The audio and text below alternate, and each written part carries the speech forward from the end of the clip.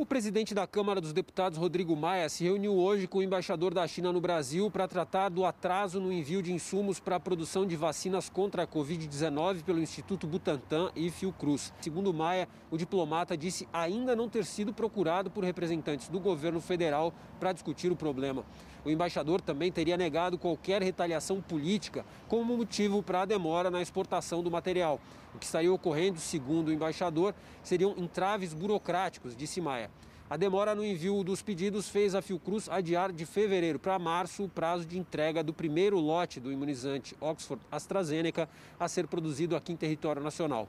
O Butantan também corre o risco de atrasar o cronograma de fabricação da Coronavac por aqui. Desde a campanha eleitoral, Jair Bolsonaro adotou uma postura de distanciamento e crítica aos chineses, comportamento reproduzido por seus filhos e incentivado pela ala ideológica do governo, que hoje comanda o Itamaraty e é alinhada ao ex-presidente Donald Trump.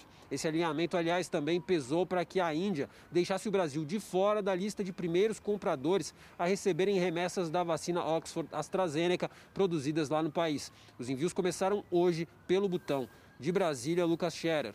Olá, boa noite. Logo mais às 9 horas em ponto, nós vamos receber na bancada do Jornal da Cultura o diretor do Instituto Butantan de Mascovas e o reitor da Faculdade Zumbi dos Palmares, José Vicente. Durante posse nos Estados Unidos, Joe Biden celebra a democracia e prega união do povo americano como uma só nação. No Brasil, o Ministério da Saúde tira do ar aplicativo que indicava uso de remédios como cloroquina. Sobre educação, sem orçamento, crise se agrava em universidades federais. E vacina desenvolvida pela farmacêutica Pfizer consegue neutralizar mutação do novo coronavírus detectada no Reino Unido. Eu espero por vocês às nove em ponto. Até já!